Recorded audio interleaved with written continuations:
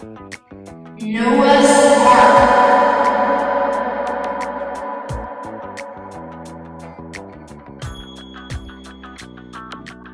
In a land far, far away, a long, long time ago, lived a faithful man named Noah.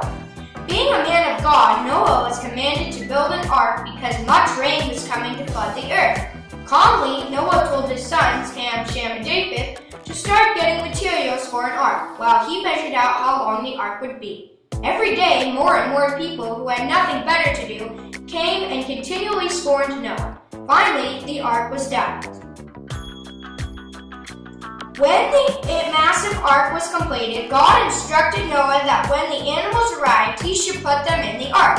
After Noah was told this, he quickly told his wife to get much food for the flood. Finally, as the animals arrived, Noah, when they arrived, put them in the ark two by two while the rain started to pour. Noah, which was now ready, went into the ark.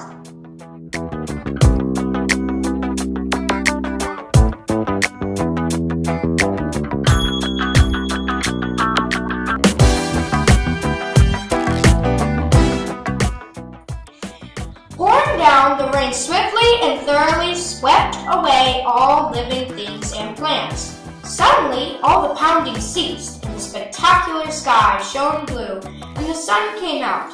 When this happened, Noah had thought of a plan which was brilliant. His plan was to send out a dove to see if there was dry land, which the dove willingly did so. Although he tried this, it didn't succeed.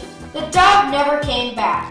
But Noah tried again and was rewarded with the dove coming back with a leaf in its beak, which proved that there was dry land. The next day, there was a crash, crunch, and a snap as the ark had gotten stuck on Mount Ararat.